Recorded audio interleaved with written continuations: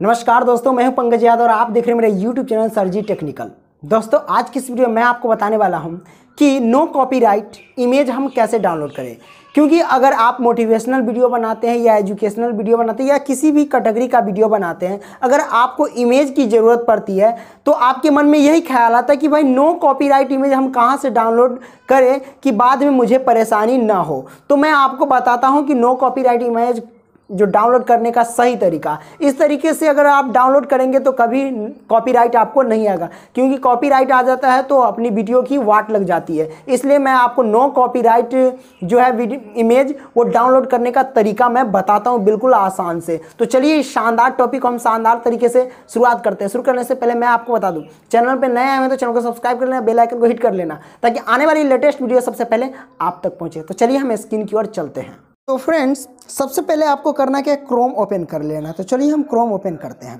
Chrome open करने के बाद ध्यान रखिए कि यहाँ थ्री डॉट के आइकन पे क्लिक करके आपको डेस्कटॉप साइट पे चले जाना है, ठीक है? तो मैं पहले से डेस्कटॉप साइट पे रखा हूँ तो मुझे जाने की ज़रूरत नहीं है, मैं बैक आ जाता हूँ ओके अब आपको क्या करना है? यहाँ पर टाइप करना है इमेज क्या लिखना है? इमेज चलिए हम इमेज लिखते हैं। या फिर कोई भी इमेज मान लेते हैं, मैं श्वसन तंत्र का इमेज लेना चाहता हूँ तो मैं लिखूँगा श्वसन तंत्र श्वसन तंत्र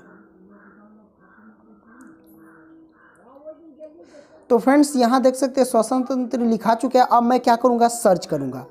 अब सर्च किया। सर्च करने के बाद यहाँ मैं जूम करके आपको दिखाता हूँ, ठीक है? जूम करने के बाद यहाँ पे आप देखिए इमेज का ऑप्शन मिलेगा।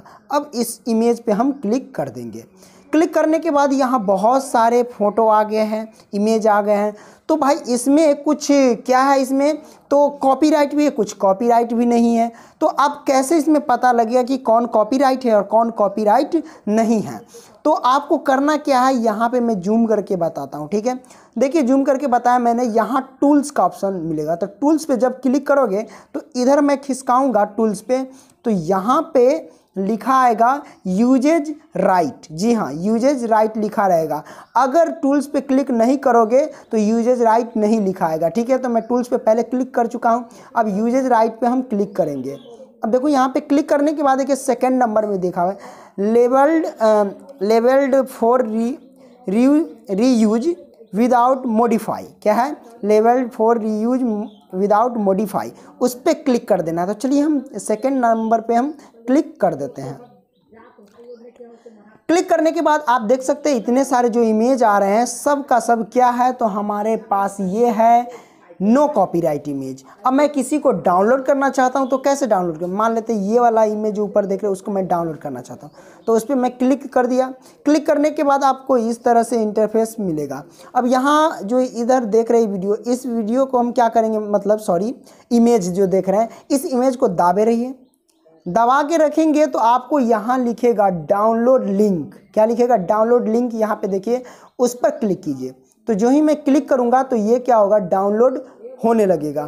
तो देखिए डाउनलोड होने के बाद यहाँ पे ऊपर मैं जाता हूँ तो देखिए यहाँ पे डाउनलोड शुरू हो जाएगा। तो यहाँ डाउनलोड हो चुका है। अब मैं इसी पे क्लिक करूँगा तो देखिए आपको इमेज दिखाई देगा। देखिए, ये हमारे पास डाउनलोड हो चुका है ओके अब ये मैं किसी भी चीज़ में लगा करके अपना यूज़ कर सकता हूँ ओके तो आशा करता हूँ यह वीडियो आपको काफ़ी अच्छी लगी होगी। दोस्तों, वीडियो पसंद आए तो लाइक कीजिए सब्सक्राइब कीजिए और चैनल पर नए आए हुए हैं तो प्लीज़ सब्सक्राइब ज़रूर कर लेना, ठीक है? फिर मिलेंगे नेक्स्ट वीडियो में, तब तक के लिए बाय दोस्तों।